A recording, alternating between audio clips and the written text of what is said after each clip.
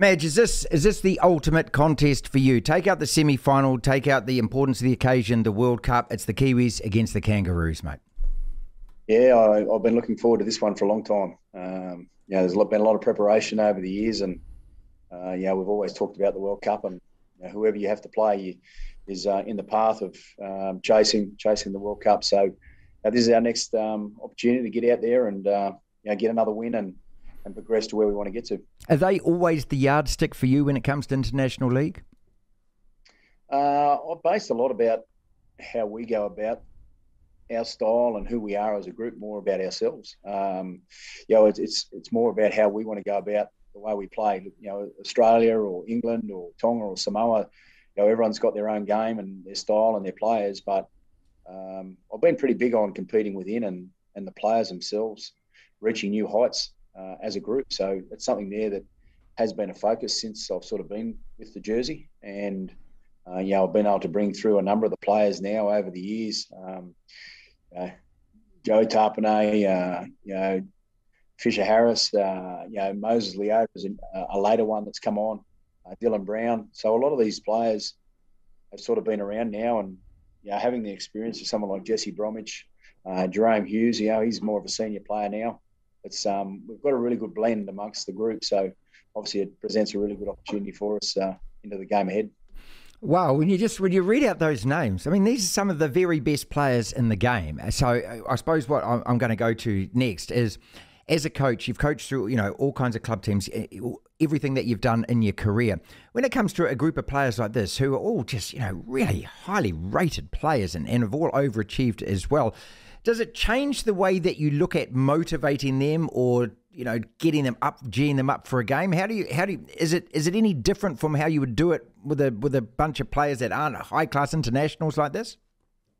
Yeah, there, there, definitely is a little difference, man. I, I, mean, I've really enjoyed coaching the players. They're um, you know, when you've got players at the top level, uh, yeah, they understand their roles and they play their part. It's just such a high level, and when you bring them together, um, training is actually really enjoyable. Know, and then obviously going and seeing them produce that in the games at, at, at another level. But know, when you're dealing with you know players that are classed as world class and probably some of the best in their positions, then it makes life as a coach a little easier because then you can really you know, strategize and work out you know, little parts of what you want to improve on as a group, rather than when you're obviously dealing with some younger guys. Uh, you know, they're all mixed across different levels.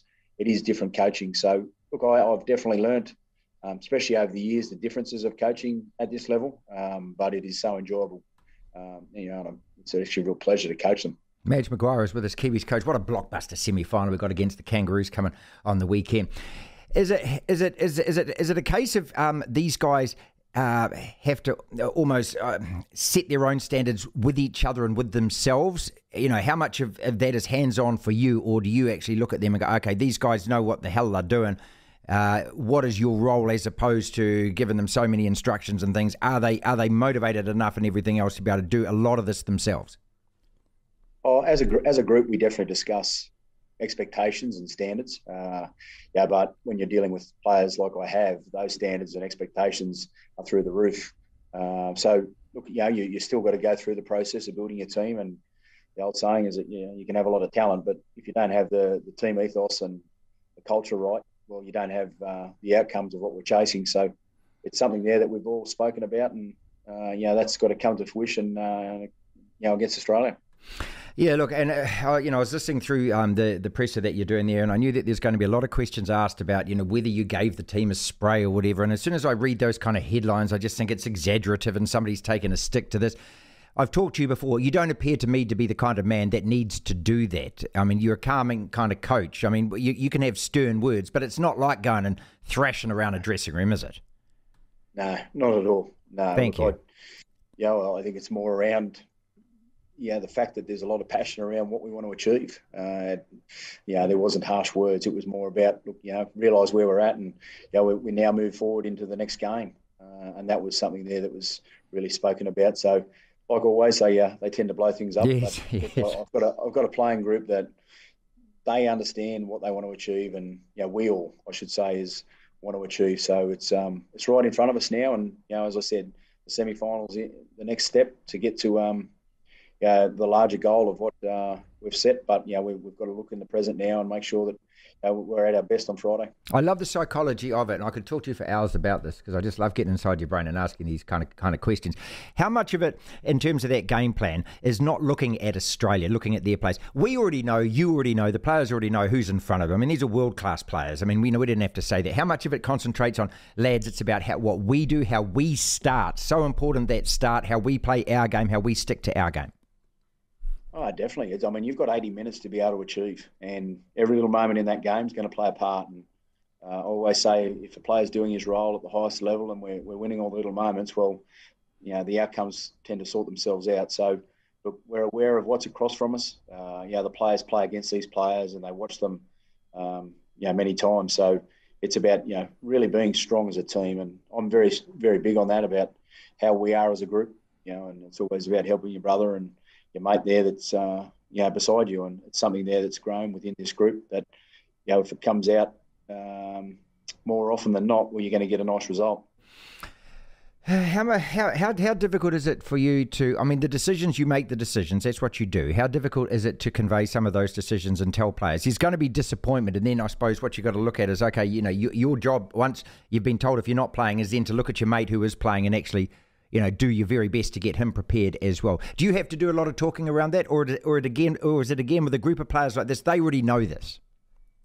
Uh, the players, they, they do know it. They've, um, you know, I've got to make decisions as a coach, uh, but they're all here for the same reason, and that's that's what we've all set out to do. And you know, I can say that the support that the players that aren't playing give and how they go about their training is at a really high level uh, yeah, they're all here for the same reason. We all want to you know, be successful for the country and for New Zealand and everyone back home. So, you know, I've spoken and you know quite openly about how they do talk about that, and um, you know, the, the people back in New Zealand, you know, uh, they, they mean a hell of a lot.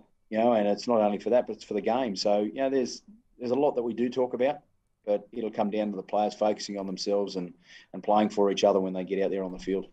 Mitch, you know, I, I, haven't asked a single single question about Fiji and about the quarter final because it's gone. And I mean, I just feel like yeah. if I ask you about that, it's it's it's it's irrelevant now. The game, the next game is the World Cup final, isn't it? As far as as far as you're concerned. It's the only thing that matters now, aren't it? Uh, yeah, when you're playing in a tournament like this, you've just got to make sure that you you keep being successful because the next one um, is the most important thing that you you move towards. And yeah, that one's done and dusted now, and yeah, we've looked at various things that we need to and you know, ultimately, at the end of the day, it's about uh, what we've just spoken about. Everyone turning up, ready to go against Australia at that kickoff. You know, we've got to start, have a good start, and off we go. How do you how do you kind of prick the balloon so that, that we don't or we not say we got here in my that, that the players don't play the game before the game is played? Uh, that comes down to the week that you set up. I've got a really good staff. I've got a really good group of uh, staff around myself, and yeah, there's a lot of experience within that staff, and we all know that the ultimate is to get to the 80 minutes ready to go. And uh, yeah, the prep that you have, and it's very calculated, and we all talk about it. Uh, so it's about making sure that the 80 minutes is the most important part of the week, but the way you prepare plays a massive part in how that comes out. You've also got a brain on the other side. I mean, that guy Mal. I know he's he, you know people falsely criticise him for Queensland, and that we know, and I know that you know what a great coach and what a man motivator that man is.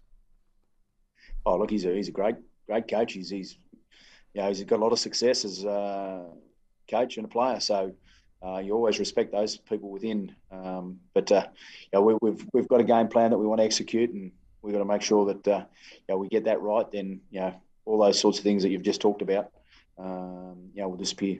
And finally, look, I go back to the early 1980s when Lowy was coaching. I know that you're the sort of similar kind of age and things. And, and beating Australia at league is a bit like beating them at cricket, is a bit like the Wallabies beating the All Blacks. It doesn't happen, you know, that often. But by God, it's good when it happens. And it's just about getting absolutely everything right on this day. The only thing that matters is this game, this day, that pitch. Yeah, I can't think of anything more than uh, getting the best performance we've played to this date and getting the result. That's uh, that's my focus uh, and all my staff's focus and all the players' focus. And uh, it's it's uh, all about this game now. Wonderful, mate. Thank you so much for giving us some extra minutes at the end of that. Utterly appreciate it. Go go and get them, mate. Yeah, good on you. Thanks a lot for that.